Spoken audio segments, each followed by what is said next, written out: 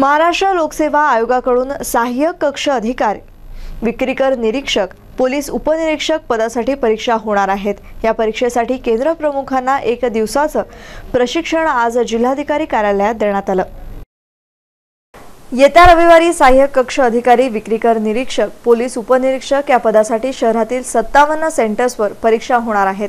या परीक्षांसाठी वीस हजार दोनशे छप्पन्न उमेदवार हजेरी लावणार असून या परीक्षा सुरळीत पार पडाव्यात. यासाठी एक हजार सातशे एक्क्याण्णव कर्मचारी नियुक्त व केंद्र प्रमुखांची ट्रेनिंगचं आयोजन करण्यात आलं होतं. एक हजार सातशे एक्क्याण्णव कर्मचाऱ्यांची नियुक्ती व केंद्र प्रमुखांच्या ट्रेनिंगचं आयोजन करण्यात आलं होतं. जिल्हाधिकारी कार्यालयाच्या सभागृहात या ट्रेनिंगचं आयोजन करण्यात आलं होतं. या ट्रेनिंगला शहरातील सत्तावन्न परीक्षा सेंटर्सच्या केंद्र प्रमुखांची उपस्थिती होती. परीक्षेदरम्यान उमेदवारांनी व केंद्र प्रमुखांनी कोणती काळजी घ्यावी याचं मार्गदर्शनही यावेळी करण्यात आलं. यावेळी उपजिल्हाधिकारी देवेंद्र कटके परीक्षा नियंत्रक शेख सलीम यांची उपस्थिती होती.